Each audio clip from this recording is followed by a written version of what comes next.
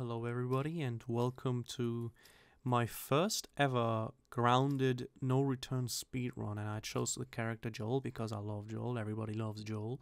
And uh, yeah, this is something I want to be doing as well next to my no return videos and, and next to my speedruns of the main game. I've, I've done, I did this run and holy shit, speedrunning this game mode on grounded difficulty is intense as fuck. Like, holy fuck. Um, but yeah, this is just the first run. I died in this run, but it's pretty simple. As you saw, the timer starts as soon as you hit the start button and go into the loading screen and, and basically start the run. That's when the timer starts. The timer stops as you kill the last, like the boss. Uh, in the middle of the screen, it's gonna say run complete and once that text disappears, you stop the timer. Uh, in this run, I, I forget to split once, and therefore I stopped my timer 4 seconds too late, or like 5 seconds too late. Um, but that's completely fine. Um, but yeah, those are simply the rules. Obviously, no cheating. All the settings and stuff, they have to be turned on with the cheating stuff. Those are all in the rules. But yeah, this was my first ever run. It was intense and fun as fuck and I'm gonna keep doing these. So here's my first one. Have fun.